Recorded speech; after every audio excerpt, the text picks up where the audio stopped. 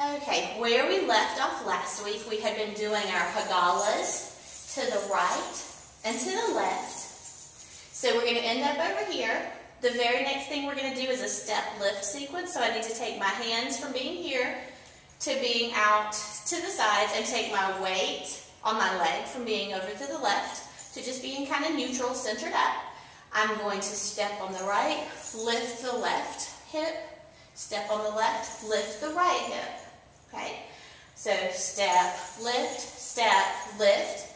The next part of that is going to be a turn to the back. Now the way that I'm doing that turn is I'm doing a hip circle that's rotating counterclockwise. And everywhere that I get a chance to pick up a foot, like when my weight is to my left, I can pick up my right. Or when my right weight is to my right, I can pick up my left. I am taking two hip circles to turn myself. Now I know this is going to look backwards when I'm in the mirror. That's the one downfall of videoing in the mirror is that when you turn to the back, it looks completely opposite. But at the back, I'm going to do the exact same thing. This the right, lift the left, step on the left, lift the right. I'm just going to do it a little bit differently rather than just rather than just lifting like this. I'm going to step right, look over to the left. Step left, look over to the right. You see how I'm kind of opening up my body from my hips to my chest out to the audience, not just simply turning my head to look, but really turning my body around. So to the front, I went step, lift, step, lift, turn around. To the back, I go step, look, step, look, still turning with a counterclockwise circle to the front. You're going to have to switch your direction here because we're going to do some walking hip circles to the right. So that's going to require the hips to go more clockwise. So I just got here. I'm going to accent this with my hands by having the hand in the direction that I'm going, pointing out. The one that's in the opposite, the opposite hand is going to be behind my head, just touching lightly. And I'm going to go one, two, three, four circles, which is actually an eight count of the music.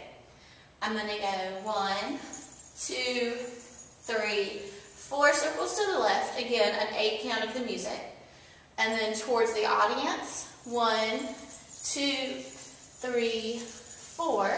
Now when I'm going away from the audience, I'm going to take this hand that's away to point in the direction that I'm going backwards. And I'm going to take the hand that would be towards the audience. Instead of going like this, I'm going to look at them and put my hand to my cheek. One, two, three, four. Now from here, we're going to do some hip bumps in a circle. And the bump just means like right, left, right, left, right, left, right, left, like that. The arms are going to start down by the side, come up across the body, and then come down.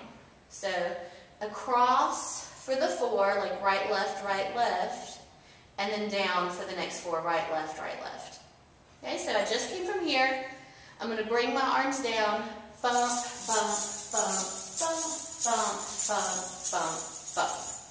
And that is where we're stopping for this week. Let's see how our whole routine up until this point looks to the music. Mm.